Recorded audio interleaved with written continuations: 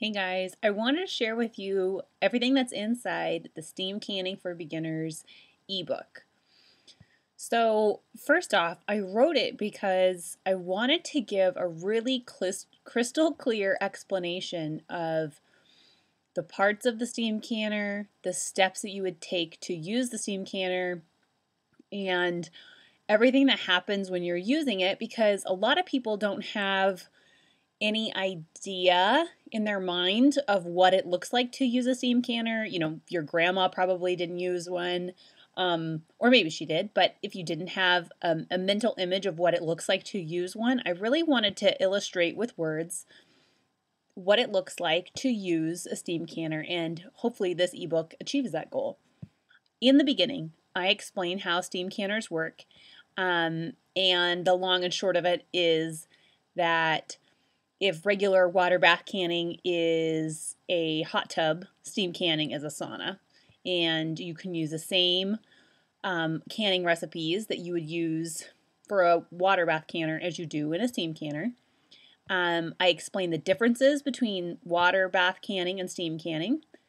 Uh, you'll learn about the limitations of a steam canner. There's not a lot of limitations, but there are a few.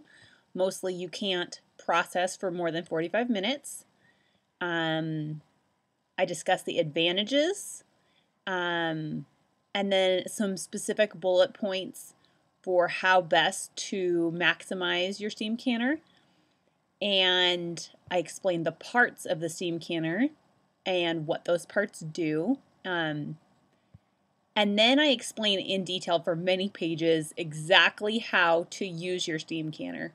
So that you can start the very first time with confidence and just make your jam or make your salsa or can your applesauce and not be feeling am I doing this right? Is this is this supposed to happen? Is the lid supposed to look like this? Is the dial supposed to move so slowly?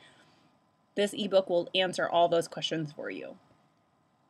And then at the end, um, there are two bonus recipes that I think are um, really great for a brand new beginner because they're they're super super fast. And I mean, who doesn't love fast? right? I, I mean, I know I do. So that's the inside of the Steam Canning for Beginners ebook, and you can get it at startcanning.com.